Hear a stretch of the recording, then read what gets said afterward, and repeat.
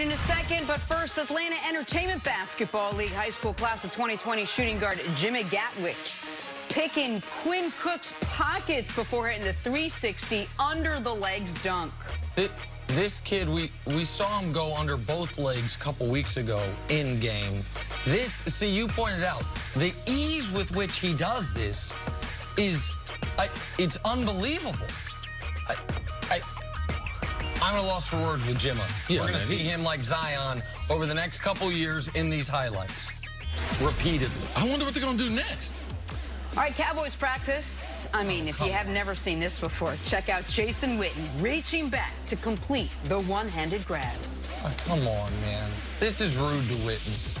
Calling this, of, of all the things that happened in NFL training camps yesterday, this is the most remarkable thing, or it's just remarkable? Man, he's out of bounds, man. 60-year-old man. Like, no, no, because he's out of bounds. Watch the catcher. here. His right hand hits it, then his left, once he gathers it, watch his right foot.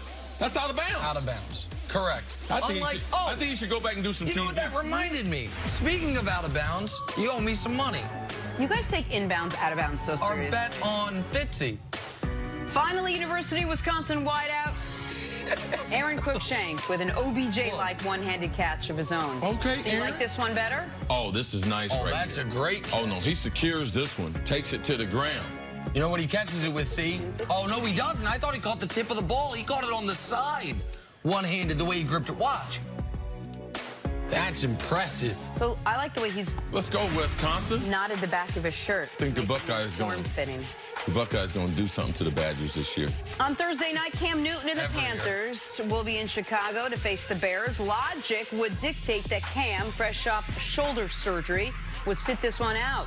Ease into the preseason. Logic would be wrong. Panthers head coach Ron Rivera said that Cam plans to play. All right, see, what are you looking for from Cam on Thursday against that great Bears defense? I think that Ron Rivera is trying to send a message. Um, they've made some some changes around that organization, and they want to get back to a more consistent physical style.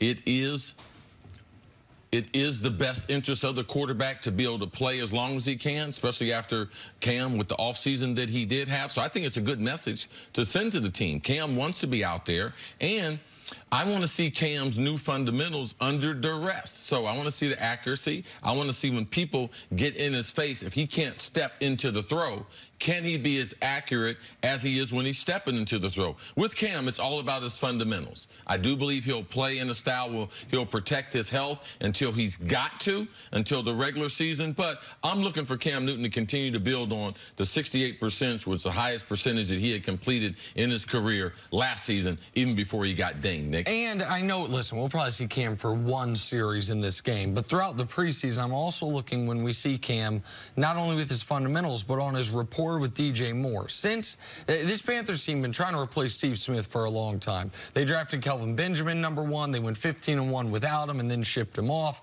They, they, they drafted Curtis Samuel high, and he's young, but his first couple years have not been the production they had hoped. Injured. They were injured and, and uh, kind of struggled transitioning to full-time wide receiver after playing a slightly different role at Ohio State, if I remember correctly. And so the, DJ Moore being a legitimate number one to go along with Christian McCaffrey, who will probably lead the team in targets.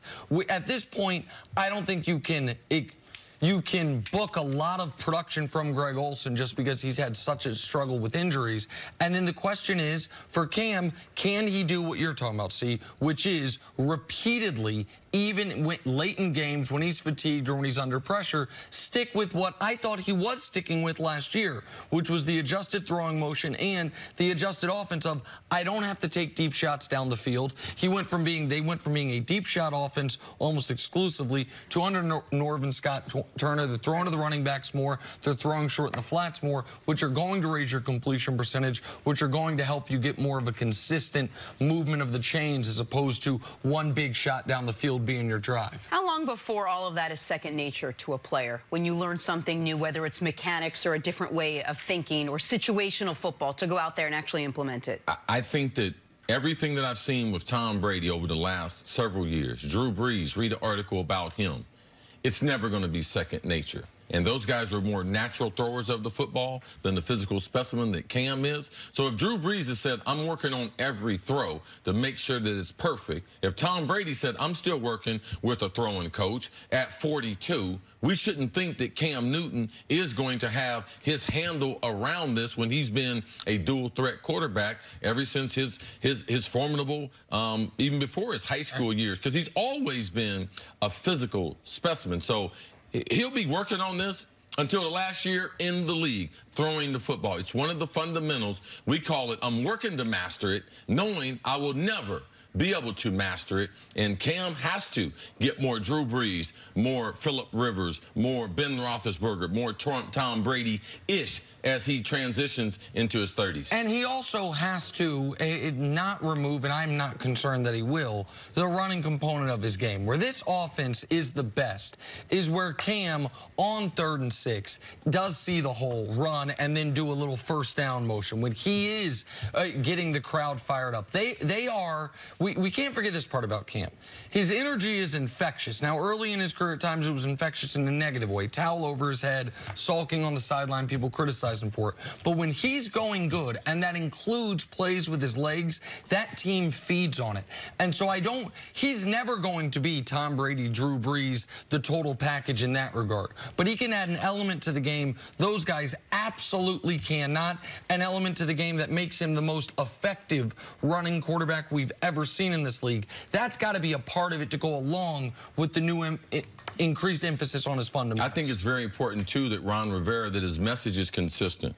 If they're going to do what they want to do from a goal standpoint, they're going to have to probably go through Chicago. Ron Rivera cut his teeth, played his football there in Chicago. We're facing one of the best defenses in the league. Cam's coming off an injury. Well, let's sit Cam. Well, no. Let's get back to the way Carolina plays football, and we might see these Bears again. Send Cam out there in that Thursday night game against the Bears. I think it's a great message for your locker room. You mentioned more, but what about the rest of the team around Cam Newton? Do you Listen, feel comfortable with what Ron Rivera's putting out there? Oh, I really like the defense. I think this could be, you were talking about the Patriots being a top five defense. I think this Panthers team should be mm -hmm. a top five defense. That front seven is as good as any in the league. I think the Gerald McCoy addition is one of the best additions any team made this offseason. He's kind of been lost in the wilderness in Tampa Bay. This is an all-pro level D tackle that will make an instant impact. You, everyone loves their linebacking corps as long as Kuechly's out there. And so I really, I like their front seven a lot. And that's when Carolina's been at their best, when the defense has been getting after the quarterback, forcing turnovers. Gerald McCoy next to Dontari Poe, yep. next to Bruce Irvin is going to play the right defensive end. Watch out for a kid from Florida State, Brian, Brian Banks. Banks. All right, he's more than just a rusher. He's going to be a three-down defensive end. His potential, he potentially can have a 15-sack season in his NFL career. Phenomenal athlete on the outside. Brian Burns, all his, the if you care about those spider charts stuff, yep. off the charts. Unbelievable. I love the spider charts. We got to take a break. Coming up, we got special guest, NFL executive oh. VP, former All-Pro quarterback Troy what, Vincent what, joins us. What's a spider? What's a spider graphic? How you doing? How can you, you not know what a spider? I need one of those NFL 100 Stop shirts, it, man. stop it. Let me, I should have started here. How do you start with May I? Oh.